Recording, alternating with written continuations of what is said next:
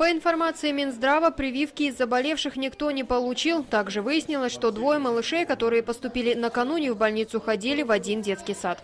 Из детей э, двое у нас госпитализированы, находятся в больнице. Один ребенок детской Черногорской. Один ребенок э, выявлен по контакту. Он находится под наблюдением в домашних условиях. И э, женщина беременная госпитализация, она отказалась. В связи с тем, что у нее трое детей маленьких дома. Врачи находиться будущей маме дома разрешили, объяснили тем, что инфекция протекает в легкой форме. Также Минздрав объявил, что порог заболеваемости гриппом и ОРВИ достигнут. За третью неделю 2016 года в больнице обратились более 2000 человек, основная часть из них – дети. Это на 43% больше, чем недели раньше.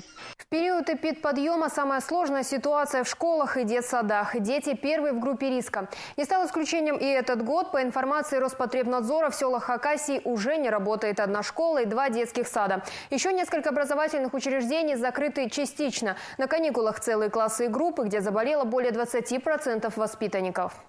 А именно, на карантине школа восьмого вида в поселке Целином и детсад в Шира. Закрыты несколько групп в двух детсадах Усть-Абакана и еще в одном в селе Коммунар. А также учебный процесс приостановлен в одном из классов второй школы Абакана. От массовой эпидемии жителей Хакасии спасает мороз. Однако есть опасения, что если в феврале потеплеет, то и гриппозных больных станет больше.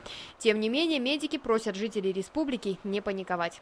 Лекарства в аптеках есть. Для лечения осложненных форм у нас есть все возможности.